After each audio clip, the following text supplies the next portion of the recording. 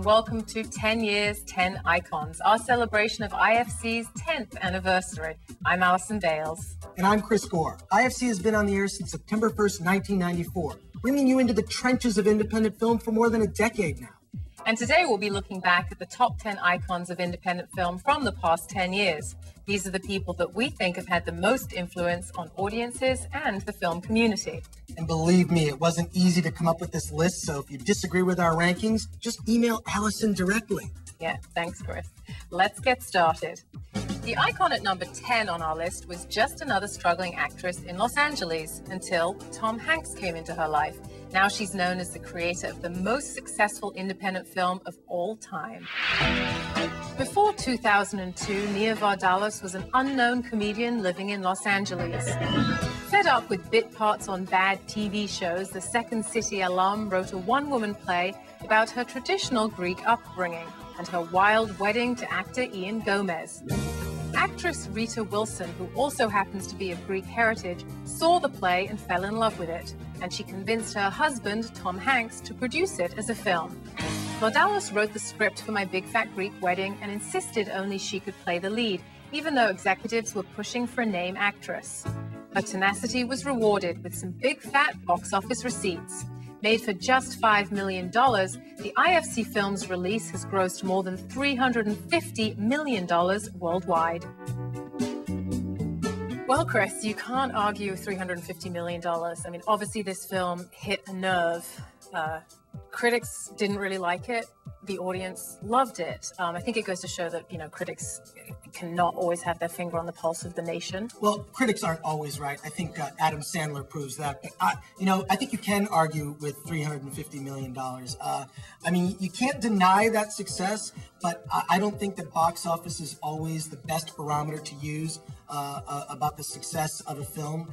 Um, I'm not a fan of the movie. I mean, it's a chick flick, not for me. Um, I, I kind of think it's just a by the numbers romantic comedy, but its success is completely unexpected. I also think that it started off a sensibility for a different type of independent film, and maybe the people who were scared of independent films because they thought they were arty or foreign or violent or dark um, would now embrace going to independent films because they see that they can be like any other type of film. Okay.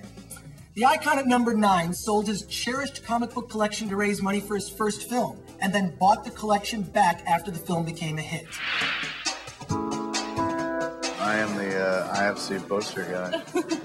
the IFC, which we affectionately call the Kevin Smith Network in my house. in 1993, Kevin Smith cobbled together 28 grand to shoot Clerks, after hours at the convenience store where he worked in Red Bank, New Jersey. One question I definitely get once a week is like, you know, how do I break in? How do I get into the business? Who do I sell my script to? And, and my advice is always like, look, man, I have no idea. I never did that. You know, I just went out and made a flick. And, and you know, it's it's it sounds pithy, but it's it is kind of easy if you you know if you got some credit cards. Clerks launched his career, and his follow-up, Mallrats, nearly ended it. You know, it's very liberating to have a movie that fails on such a grand level, and um, Very liberating. And uh, you reach this point where, you know, the reviews were, were so horrendously bad and the people were, critics were really particularly vicious. And, uh, you know, it's just like, once, once they've said all that, like, where can you go but up? But over the past decade, Smith has delivered a solid staple of comedic films, as diverse as Chasing Amy, Dogma, and Jersey Girl. But they all share Smith's smartass humor and relentlessly clever dialogue. Um, the thing that carries through all of them is just a, way too much dialogue from beginning to end. Far too many words, not nearly enough action, um, and shoddy, shoddy craft, craftsmanship. You know, inept, inept directing. All facetiousness aside, we've gotten very lucky in terms of what we've been able to do in film and how we've been able to be cheeky or the shit we've been able to say. I've, I've, been really, really lucky. I mean, like, I, have always been able to make the exact movie I've wanted to make. Now, I'm a huge Kevin Smith fan. Um, really? Yeah, well, you know, it, it is dialogue. You know, uh, you look at something like Clerks, and one thing I'll say about Clerks, um, it's probably one of the worst looking films ever to get a theatrical release. That's not why I love this film. It's the dialogue. We've never heard uh, characters talk like this in a film. They really talk like people I know. Well, I think that uh, I won't uh, disagree with you on Clerks. I love that film too. And there have been several Kevin Smith films I have enjoyed. I do happen to think he's more of a boys director. If you can say Nia Vardalos, that's a chick flick, then I'm going to say Kevin Smith is more of a boys director. Um, I think Dogma was exceptional. I think Jersey Girl was less than exceptional. And um, I think what Kevin Smith does is he gives schlubby guys who um, are really nice guys. I've met him. I think he's a great guy. They, anyone can make a film. He can do it. He does it. He uses his friends. He started, you know, Ben Affleck's career pretty much. I don't know if we should thank him for that, but uh, well, I think I think Kevin makes uh, the male version of a chick flick. Kevin Smith makes great dick flicks, and he also got the best performance out of Ben Affleck ever. I mean, let's face it, Chasing Amy was great. Jersey Girl, another story. Right. Okay, well, our next icon struggled through some fairly forgettable work, including a stint on Beverly Hills 90210, until she landed the role that would alter her career and the landscape of independent film. This experience has changed my life. Director Kimberly Peirce spent three years looking for the actress who could play the gender bending Brandon Teena in the IFC Films release Boys Don't Cry. It was probably five weeks before shoot, and I just, I mean, all of us were like, we can't shoot if we don't have the girl.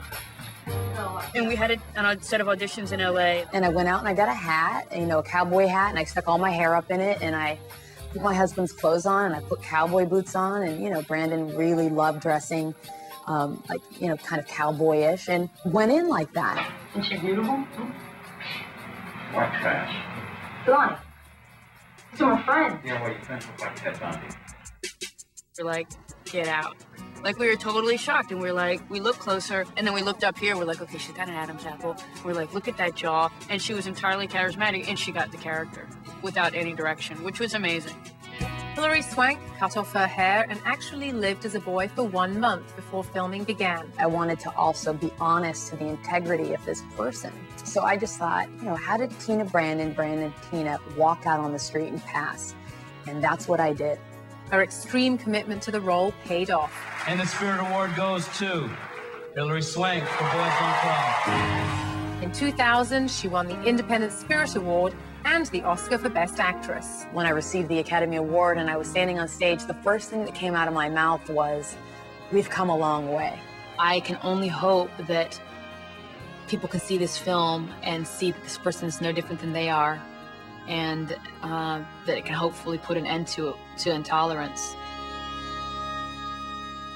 I think that Hilary Swank has deserved those uh, the Oscar, the Independent Spirit Award. I think that performance was amazing. I think the film was amazing. I think it's a tough film to watch. I think that the film made people more ready to embrace these kind of topics, even though they're hard because it was done so well. Well, I think it's an it's an absolutely brilliant performance. Um, it's also one that I find difficult to watch mainly uh, because just seeing women being brutalized in that way uh, is just it's just hard. So it's amazing what Hilary put herself through uh, to go to the places she did in that role. Yeah, the role was really special, and since then she hasn't done quite so well in her choice of roles, but she's now working with Clint Eastwood in Million Dollar Baby, which comes out very soon, and I think it will be very interesting to see how she does under his direction. Okay.